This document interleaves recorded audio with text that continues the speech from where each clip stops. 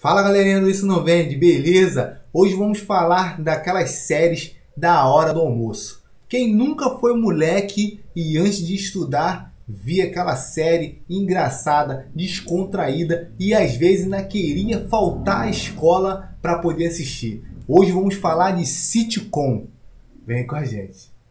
Pai, eu já tenho pelos no corpo todo. Olha aqui. Ah, não, não, não. Isso não. Não. E para começar a brincadeira, vamos começar com Eu e a Patrulha as Crianças, de 2001.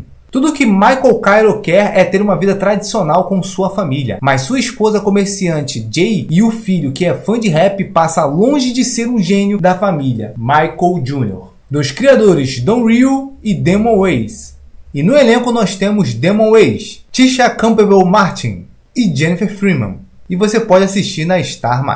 Quem nunca viu Eu e a Patrulha as Crianças no SBT? Michael Kai e sua família, eles entram ali em desavenças, inclusive ele coloca um apelido no seu filho de Júnior Cabeção.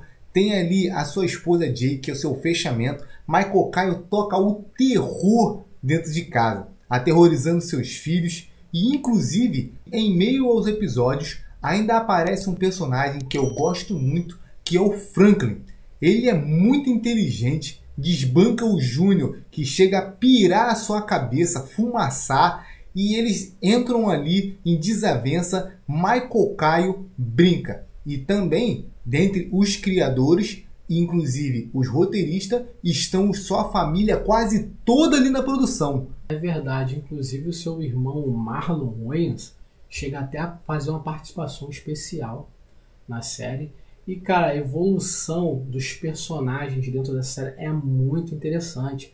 É, a atriz que faz a Claire é substituída, né, da primeira temporada para as outras.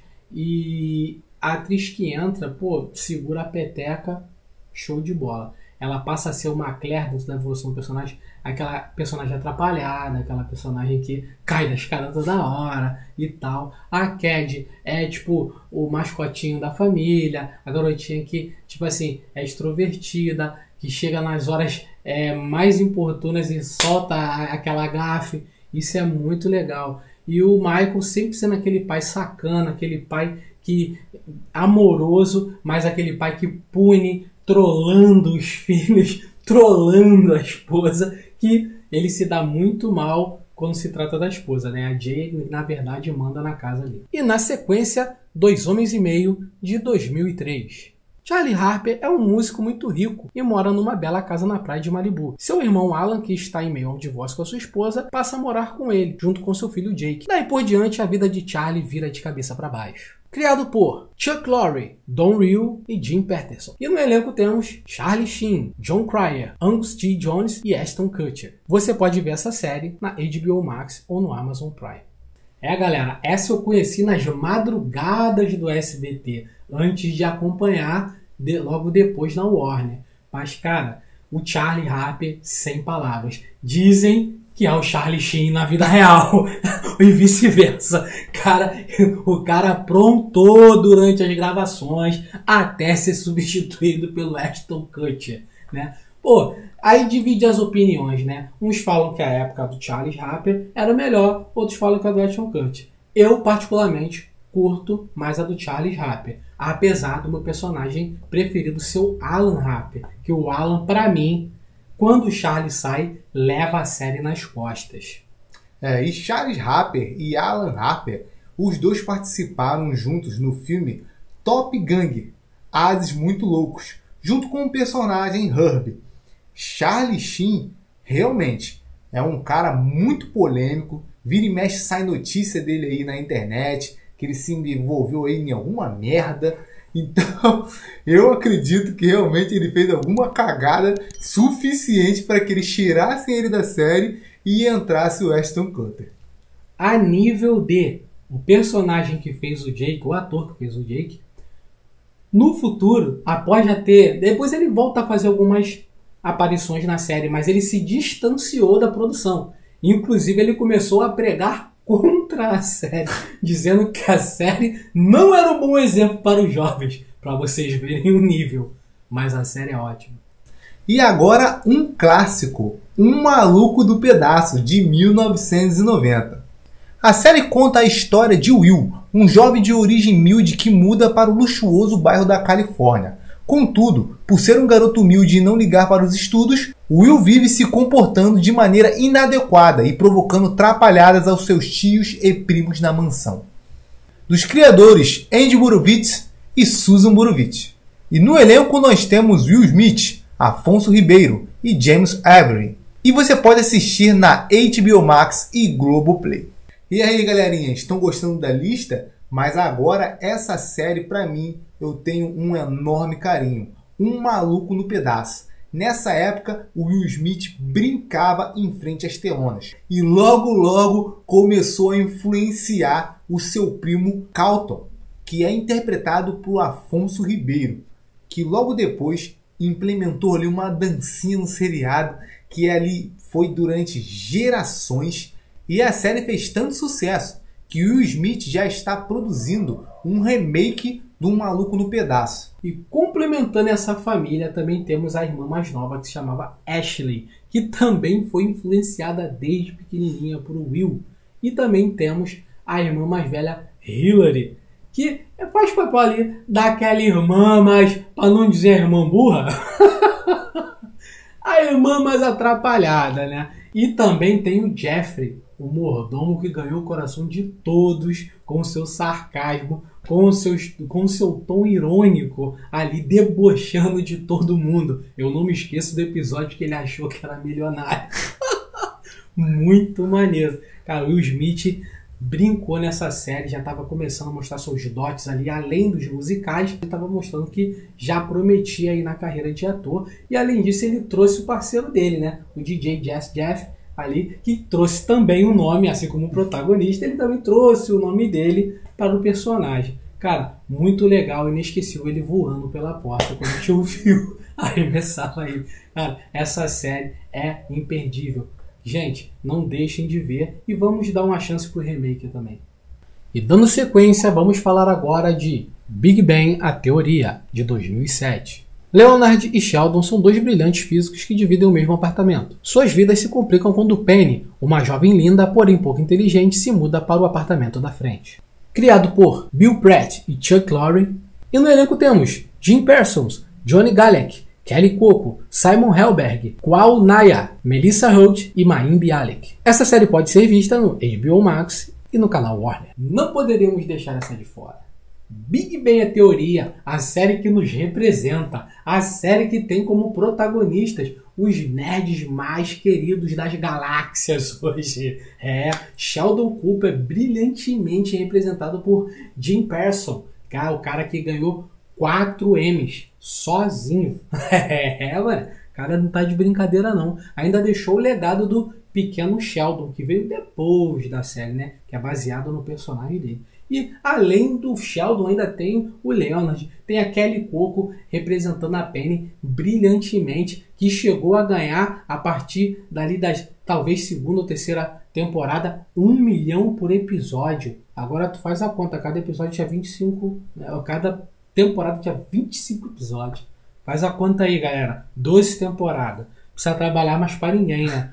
Pô, a Penny, além de ser muito engraçada, é, é, tipo assim, ela foi pivô de muita coisa, muita reviravolta ali. Cara, Big Bang mudou a perspectiva do nerd. Você que era o nerd zoado, você que era o nerd aí que sofria bullying, cara, você. Os personagens sofrem isso tudo também. Só que eles mostram que o nerd pode ser brilhante, pode se destacar, pode ser uma pessoa amada por todos. Essa série passa uma mensagem, uma não, várias mensagens muito lindas a respeito de confraternização, a família que você pode adquirir ao longo da vida e tratar diferentes características que são de pessoa para pessoa. E com 12 temporadas, nós temos aí 12 longos anos de puro sucesso. Sucesso aí que é um dos criadores em comum de Two the Half Men, que é o Chuck Lorre. Essa série também vai ser lembrada muito tempo. Nós aqui que já temos uma certa idade temos aqui referência como Chaves e Chapolin. Futuramente, nossos filhos ou nossos sobrinhos vão lembrar de Big Bang a Teoria quando tiver a nossa idade, pois essa série mudou a cultura pop. E você pensou que The Brazilian ia ficar de fora? Não! Temos aqui Sai de Baixo, de 1996. Por necessidade financeira, Cassandra e sua filha Magda e o seu marido, Caco, precisam pedir abrigo na casa do seu irmão, Vavá. Obrigado moralmente a recebê-los, Vavá, sua empregada e o seu porteiro tornam a vida dos seus hóspedes um inferno. Dos criadores Luiz Gustavo e Daniel Filho, e no elenco temos Miguel Falabella, Marisa Hort e Araci Balabarian. E você pode assistir essa série no canal Viva. Tá aí uma série brasileira que deu o que falar. Dentro da sua classificação, sitcom é uma das melhores, se não for a melhor na minha opinião.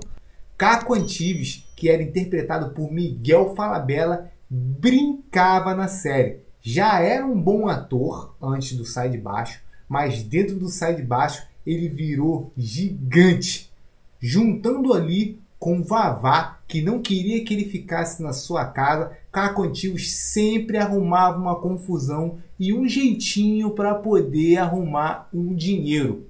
Magda fazia o papel de burra e também a sua esposa. Cassandra era o cabelo de fogo, um dos apelidos carinhosos que Caco lhe dava. Essa série fez sucesso durante muitos anos e depois começou a receber atores que se juntaram na série. Um deles era Tom Cavalcante, o eterno Ribamar, que também ali brincou, não deixou a peteca cair em nenhum momento e até hoje essa série quando é passada na televisão ainda traz audiência.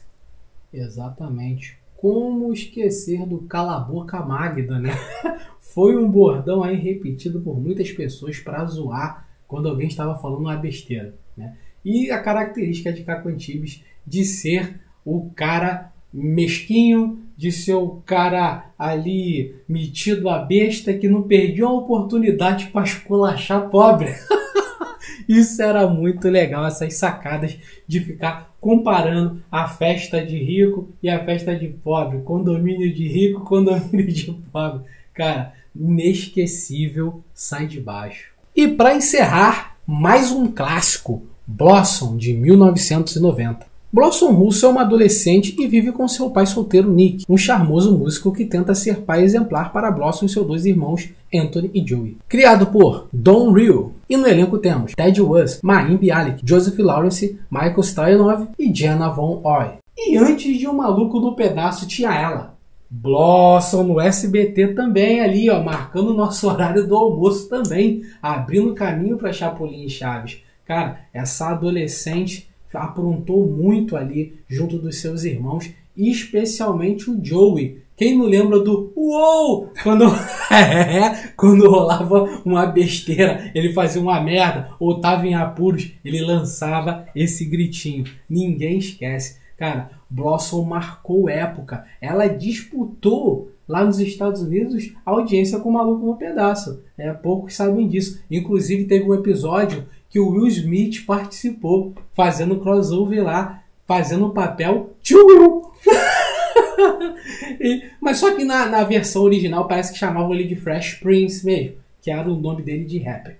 Cara, foi muito legal. A, a, aquele período de amizade, né? Que a gente faz na adolescência, onde a Blossom e a Six viviam várias aventuras juntas ali, descobrindo a, os prazeres e ali o, também os momentos difíceis da adolescência juntas ali, pois a Six não tinha o pai e a Blossom não tinha a mãe. Então isso juntou as duas. Era muito legal, gente. E anos depois, Maim Bialik faria a namorada de Sheldon em Big Bang a Teoria.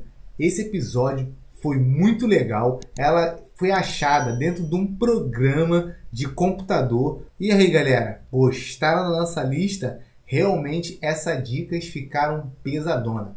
Não esqueçam, já comentem aqui embaixo se você já viu uma dessas séries o que tem vontade de ver ou até mesmo qual você gostou mais. Não esqueça também de se inscrever, pois é muito importante para o crescimento do canal. Compartilhe também para que o nosso vídeo chegue a outras pessoas. Ative o sininho para não deixar de perder nenhuma das nossas notificações e até mesmo novidade. Um forte abraço a todos e até a próxima!